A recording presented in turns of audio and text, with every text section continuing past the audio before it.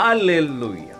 The parable of the sower concerns a sower who scatters seed, which falls on four different types of ground. The hard ground by the wayside prevents that seed from sprouting at all, and uh, at the seed becomes nothing more than bird food.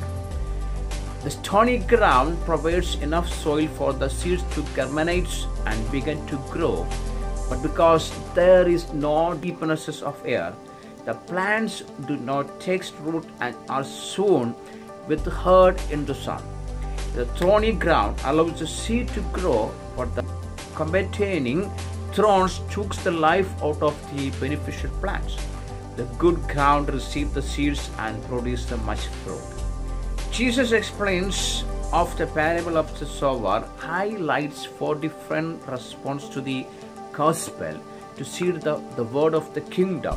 The hard ground represents someone who is hardness by sin. He hears but does not understand the word, and Satan plucks the message away, keeping the heart dull and preventing the word from making an impression. The stony ground pictures as a man who professes delight with the word. However, his heart is not changed, and when trouble arises, his so-called faith quickly depresses. The thorny ground depicts one who seems to receive the word, but whose heart is full of riches, pleasure, and lest the things of the word takes his times and attention away from the word, and he ends up having no time for it. The good ground portrays one whose heart understands and receives the word, and then allow the word to accomplish its result in his life.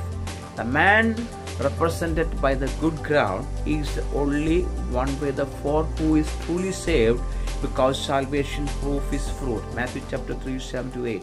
Summarize the point of the parable of the sower. A man's reception of God's word is determined by the condition of his heart.